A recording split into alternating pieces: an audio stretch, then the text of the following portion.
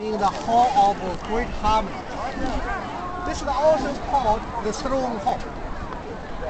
And uh, this building is 11 rooms wide and 5 rooms deep But totally, the space we call there are 55 rooms altogether in this Nick. building. It is the biggest one It's a big one.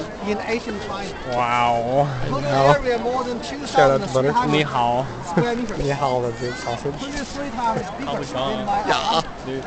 That's where the emperor used to sleep, It bro. was only used as three times That's or four wild. times a year for Say very the important emperor festivals. slept For there. example, Chinese New Year.